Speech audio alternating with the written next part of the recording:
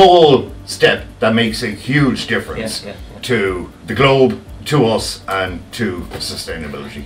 We have two pools here. We have a spa. We have underfloor heating. We have eight kitchens Eight here, kitchens, including yeah. the bakery. Eight. All these are powered by gas. The fact that we can stop using overnight conventional gas Yeah. and move to biogas without him giving out in the kitchen that the flame has changed colour is a good thing.